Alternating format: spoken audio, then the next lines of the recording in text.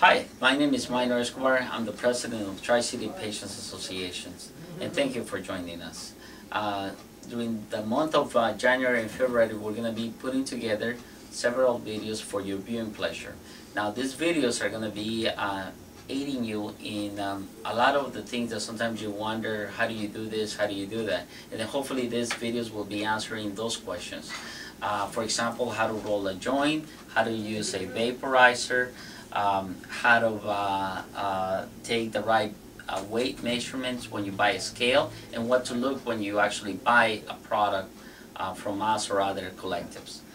Uh, first of all, let me explain you what doctors are saying about vaporizers. First of all, this definitely will reduce uh, cancer, especially if you're smoking or rolling joints with cannabis.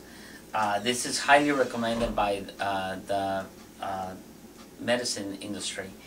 Uh, and I highly recommend you, we carry them here at Tri-City and we have reasonable prices on them. secondly, um, what you need to do is you need to figure out exactly what type or what size of vaporizer will be ideal for you. Uh, if you're a smoker that has been smoking for the past anywhere from 5 to 10 years, then you probably need something a little bigger.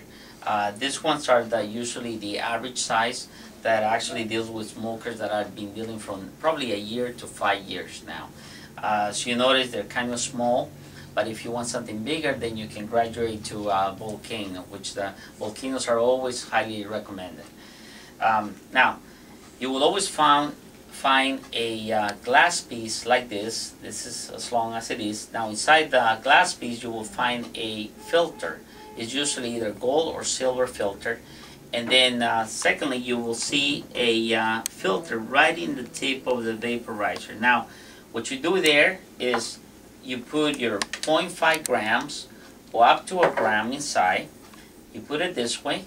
But before you do that, you make sure also that you connect the hose. Now, how do you connect the hose properly? If you try to stuck it in like that, you're going to break the glass. So what you need to do is you need to push it a little bit up like that. And that way the hose goes, goes in right very, very easily. Now once you have that in there, and you have your product inside, then you connect it in here. As you notice right there, you already have a connection in there. The second thing is to start the, the vaporizer very low. This goes from 0 to 350 very rapidly. Now, don't make the mistake to go right away into 350, otherwise you're going to be breaking the glass.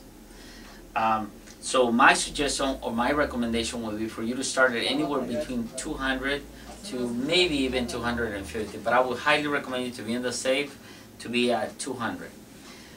Once you leave it there for about anywhere from 8 to 10 minutes, then you're ready to uh, use it.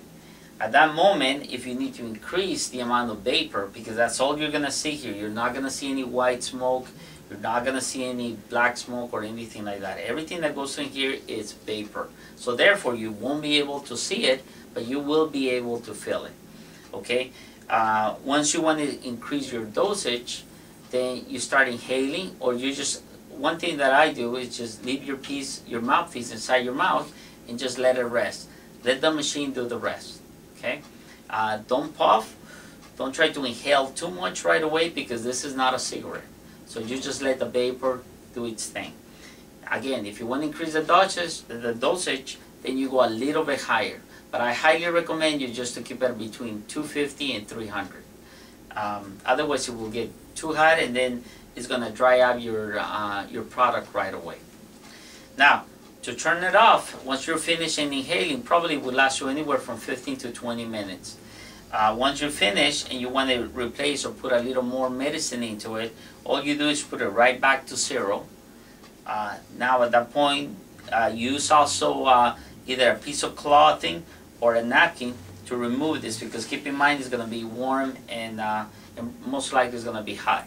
So once you remove it, your product now will be probably most likely dark and all the moisture will be taken out. So all you got to do like Asha, just take it out, put the new product in and start the process one more time. As you can see now, to clean it, once you're finished using it, definitely put it right, before you remove it, put it right back to zero. Okay, let it cool off I would say for about five minutes. Once five minutes have gone by, then remove it with a napkin, clean it up. If you have a little toothbrush, just kind of clean the inside and everything so you can stick the toothbrush in there and clean it. You can also replace the um, the uh, the filter. You can buy a new filter. Is it the same filter that they sell at any collective? And then um, you clean with an alcohol. You clean this this area here uh, with a little cotton and alcohol in there, and that way you sanitize it. And then you just and to clean the hose in here, as you notice, it's actually just vapor inside. So all you gotta do is just let it dry. So just put it straight like that. Let the air do its thing and clean it up. Just put a little bit of alcohol in each tip, and that should do it.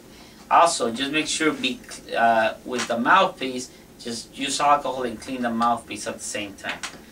And that's all it takes. Uh, like I said, it's very easy to use, but I want you to make sure that this parting or this area here does not break because this is what either gonna make it or it's gonna break it. So um, uh, if you guys have any questions, we're here to help you. And thank you again for joining us.